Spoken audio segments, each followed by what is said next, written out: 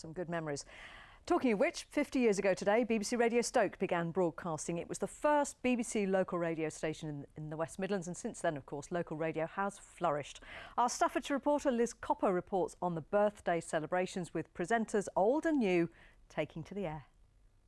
It's Liz Ellis and John Akers at breakfast and Bruno Brookes. What's the year? We're going to kick off with this with Duran Duran. Is there something I should know? Back on air at BBC Radio Stoke. This is where Bruno Brookes began his career. He went on to be a star on Radio 1, but his roots are here in the Potteries. This studio is no, not dissimilar from any radio studio anywhere else, but there's a spirit. You know, I know I'm back in Stoke. Good morning to you. It's 7 o'clock. This is BBC Radio Stoke-on-Trent. Mike Stevens with First Edition. This was one of the first BBC local radio stations to open. 50 years ago, locally produced radio news was a novelty.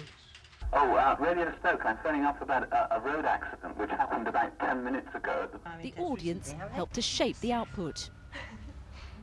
And which record would you like? Um, Woodstock, please. 50 years on, and listeners are still the beating heart of local radio. How do you know what's going on, what's happening in the area if you haven't got a local radio station? Especially when you're at home, you don't know anything. You just you'll be with someone when you turn on the local radio. Is that company? Yeah, company. Yeah. The BBC's Director General sent his congratulations. Happy birthday to Radio Stoke.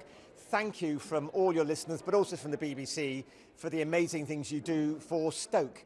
Um, what an amazing station, and I hope you have a really great celebration. You absolutely deserve it, and here's to the next 50 years. And that's a sentiment shared back in Stoke. I'm enriched by it every time I listen to it. Hearing those voices, those stories, even just the, the word oatcake makes me feel great.